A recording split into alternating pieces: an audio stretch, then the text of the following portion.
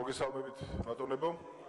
ორ საკითხზე მინდა გავამახვილო თქვენი ყურადღება და ჩვენი ქართველი საზოგადოების ყურადღება. პირველი საკითხი ეს ეხება სამწუხარო ფაქტს, რომელიც გორში მოხდა, ჩამოინგრა დევნილთა საცხოვრებელი ადგილი, რომელიც 80 სახლი, რომელიც 80 ოჯახზე იყო გათვლილი. და აქედან გამომდინარე მინდა ტოლთა და განსახლების მინისტრს ბატონ სოზარს ვთხოვო მაქსიმალურ კონტროლზე აიყვანოს ის სამშენებლო კომპანიები, რომლებიც აი ესეთ ტიპის სამუშაოებს ასრულებენ რადგან მომავალში თავიდან იქნა საცილებული ისეთი ტრაგედიები და ღმერთმა დაგვიფარა რომ ჯერჯერობით ამ სახში არ იყო შესახლებული დევნილები რომლებიც გაუსაძლეს მდგომარეობაში ცხოვრობენ ავტოკემპინგის დასახლებაში ქალაქ გორში. და მინდა ვთქო მინისტრს მაქსიმალურად გააკონტროლოს და მონიტორინგი აწარმოოს იმ სამშენებლო კომპანიებზე რომლებიც აი ამ საქმით არიან დაკავებული. რათა მომავალში თავიდან იქნა საცილებული მსგავსი ტრაგედიები მეორე საკითხი რაც შეეხება მე მინდა გამოვეხმაურო ბატონ ბარამიძეს და ორიოდე სიტყვით მინდა მოვახსენო იმ საკითხთან დაკავშირებით, რომელზეც მე ვფიქრობ თავდაცვის სამინისტრომ გააკეთა განცხადება არასწორად.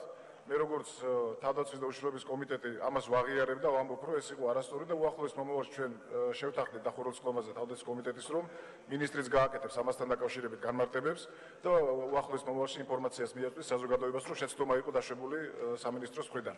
მაგრამ სამწუხარო ის არის რომ ჩვენ შეგვიძლია უბრალოდ ჩვენ შეგვიძლია ამ შეცდომებზე ლაპარაკი ჩვენ შეგვიძლია ვაღიაროთ ეს შეცდომა მაგრამ ამ შეცდომებზე ვინ ლაპარაკობს ეს არის ყველაზე საინტერესო. ამ შეცდომებზე ლაპარაკობს ნაციონალური მოძრაობის წარმომადგენელი და წარმომადგენლები რომლებაც უამრავი დანაშაული ჩაიდინეს ქართული ხალხის წინაშე.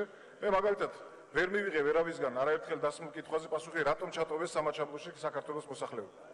მოხუცები ქალბატონები ბავშვები რატომ არ იქნა იქიდან გამოყვანილი საბრძოლო მოქმედებების დროს?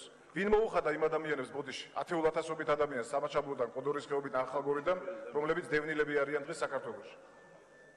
ვინ მოუხადა გორელებს ბოდიში იმისათვის, რომ 100000-ზე მეტი ხელახალ დევნილად აქციეს გორის მოსახლეობა და როგორც იქნა შემდგომ ღვთისყალობით მოხდა მათი დაბრუნება საკუთარ საცხოვრებელ ადგილებში.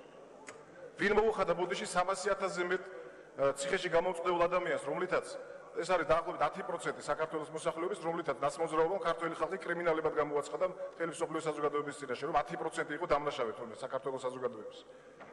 ვინ მო ვინ მო როდის მოიხდეს სააკაშვილი ბოდიშს იმისათვის, რომ მუნდირის ღირსება შეარწმინა, გორში რო კოტრიალობდა მაშინ ქართული სამხედროების. ეგება დაფიქრებულიყავით ამ საკითხებზე და როცა ბრალდებებზე ლაპარაკობთ, საკუთარ წარსულსაც გადახედეთ ამასთან დაკავშირებით. დიდი მადლობა.